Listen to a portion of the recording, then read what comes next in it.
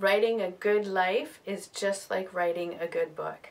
I'm in the first, I'd say about 40 to 50% of writing my first novel. I've already written a nonfiction book, but this is a novel and that's an entirely different thing because it's all fiction.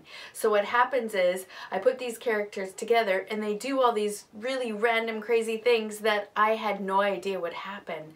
So every time I show up to the blank page, something new and different and unexpected happens. That's exactly what it's like in real life too.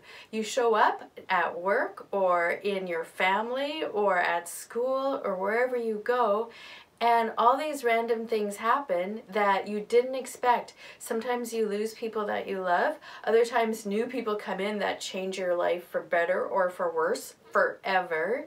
Sometimes you lose a pet. Sometimes you gain a whole bunch of money. Sometimes you get a job. Sometimes you lose your job. Sometimes you get sick. Other times somebody that you love gets sick. I came up with these five ways that you can write a good life, which are kind of the same thing as writing a good book. Number one, when you are writing, whether it's a good book or a good movie or a good life, Pretend that you're the author of a riveting, captivating, most interesting book or life or movie ever.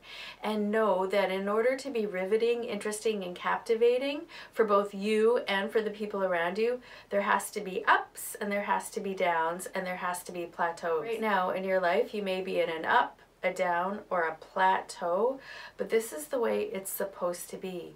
That's the way life is. That's the way even books are, and movies are.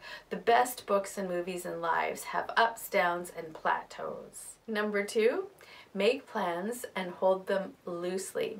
So whether you're writing a book or a life, have a plan for your career, education, finances, relationship, children. Hold them very lightly and loosely because if you grip them and you're say that has to happen this way and if it doesn't happen this way i'm gonna die and my whole life depends on this relationship or this money or this job or this health crisis ending the way you think it should then you're just going to be living uptight and fearful the whole time. Living that way is no fun for you or the people around you. Number three, expect things to change know that no matter what you plan or how you want things to work out, it's not going to work out the way you want.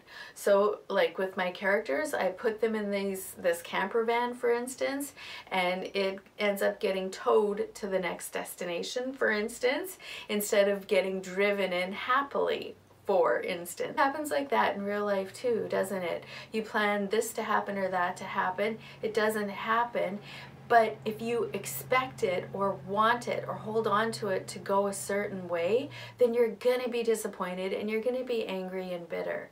But if you go into it knowing that number one, it's a loose plan, and number two, it's going to change. People are going to die. People are going to leave. People are going to come into your life. Things are going to happen. So just expect that. Be open to the unexpected. Number four, whether you believe in God and have faith, or whether you just trust the universe or believe in some sort of a divine overarching plan for your life, know that that thing that you trust in has your best interests at heart.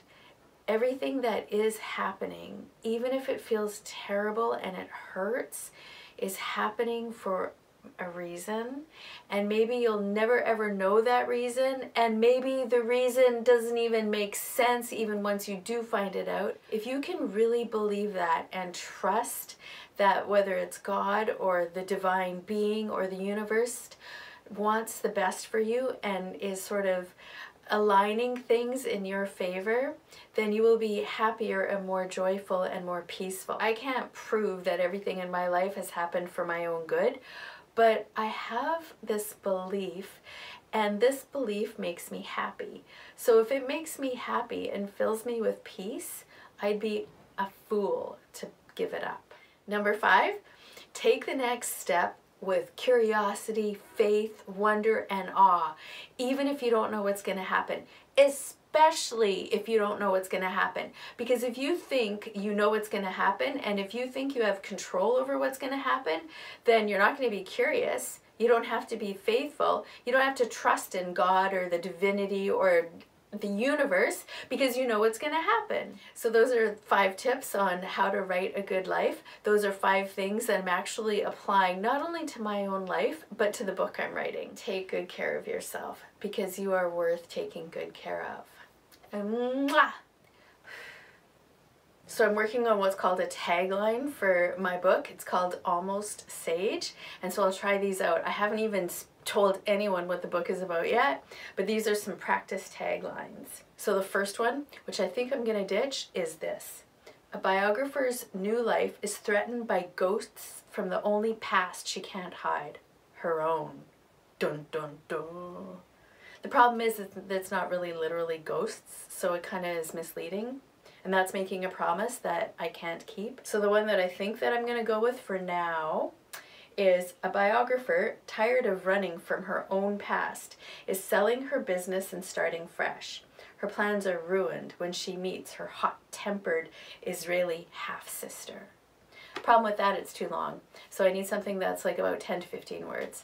So that's what happens when you write a book. You should come up with some sort of a tagline that's really short and sweet and to the point so that when you're walking your dog and the neighbor says, well, what's your book about? You can say, let me get my computer and go check.